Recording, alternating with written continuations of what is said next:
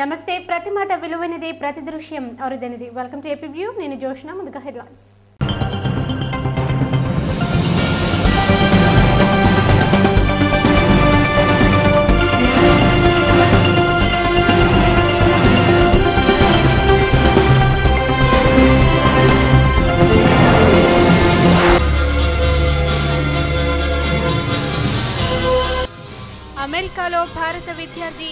అనుమానాస్పద మృతి.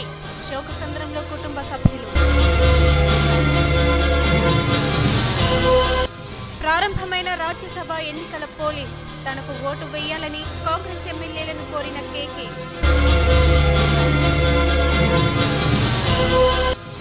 రాష్ట్రపతితో టీఆర్ఎస్ అధినేత భేటీ. తెలంగాణ వచ్చేసిందంటూ వ్యాఖ్యలు చేసిన కేసీఆర్. విభజన ప్రక్రియ వేగం అందుకుంది. సమైక్యవాదులు వద్దంటున్న కేంద్రం తెలంగాణ వైపు మొగ్గు చూపుతోంది. టీబీలపై నిర్ణయం తీసుకునే లోపు ఆఖరిసారి రాష్ట్ర గవర్నర్తో కూడా మాట్లాడాలనుకుంటోంది. ఈ మేరకు ఢిల్లీ రావాల్సిందిగా నరసింహన్కు కబురంపింది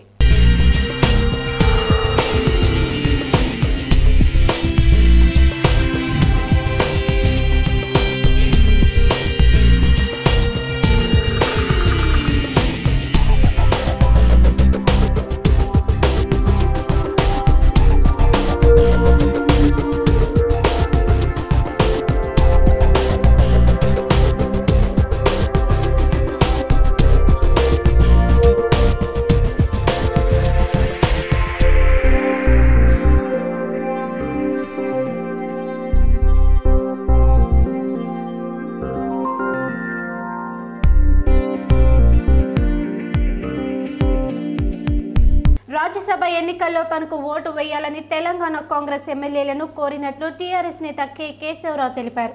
అటు తెలంగాణ నేతల ఓట్లన్నీ తెలంగాణ అభ్యర్థికే వేస్తామని ఇప్పటికే ఉప ముఖ్యమంత్రి దామోదర రాజనరసింహ ప్రకటించిన క్రమంలో కేకేకు విజయం ఖాయంగా కనిపిస్తోంది. క్యాండిడేట్గా ప్లీజ్ నేను as a candidate I came to request the Congress people నాకు ఏమైనా సపోర్ట్ చేయమని. ఏం చేయాలని కానీ కాంగ్రెస్ పార్టీ ఇష్యూ వాళ్ళ హైకమాండ్ ఉన్నది. వాళ్ళ లీడర్స్ ఉన్నారు. వాళ్ళు ఉన్నారు వాళ్ళు ఏ నిర్ణయం తీసుకుంటే వాళ్ళు తీసుకుంటారు వాళ్ళు తమ పార్టీ ఇంట్రెస్ట్ తీసుకుంటారు. కాబట్టి నా దిక్కు నుంచి ఒక క్యాండిడేట్ నేను వచ్చి వాళ్ళని మాత్రం రిక్వెస్ట్ చేసిన మాట నిజం. ప్రయాణికుల ప్రాణాలతో ప్రైవేట్ ట్రావెల్స్ మాఫియా చెలగాటం కొనసాగుతుంది. గుజరాత్లోని వాపి పట్టణంలో ఓ ప్రైవేట్ ట్రావెల్స్ బస్సులో అకస్మాత్తుగా మంటలు చెలరేగాయి. బస్సులో ఉన్న ఇరవై రెండు మంది ప్రయాణికులు బతుకు జీవుడా అంటూ కిందకు దూకేశారు